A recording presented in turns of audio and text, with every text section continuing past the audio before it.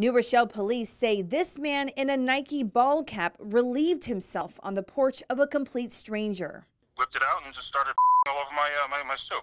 We spoke with Al Choi by phone. He says he wasn't at his New Rochelle home on Webster Avenue when it happened back on July 12th, but did speak briefly with the unidentified man who he says was looking for an unknown woman through his Ring doorbell security camera. Pretty, pretty disgusting. It's, I mean, what, what, what does one think in a situation like that? It's, it, it, it was gross, and it's also it's like you know who, who who does stuff like this? The man now wanted for criminal tampering by New Rochelle police. Right on my doorstep in front of my door? Like that's disgusting. You know what, what's like what's what's what's wrong with these people? Neighbors we spoke to say the incident raises concerns. You don't hear things like that happening that often.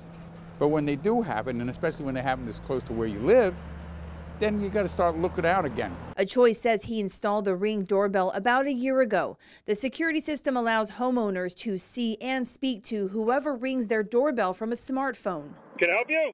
This incident, the second he's caught on camera. Sometime in um, January, some woman tried breaking into my house as well. While the reason why the man in this case chose to urinate on the property of a stranger is unknown, police sending a message it's not only not neighborly, it's criminal.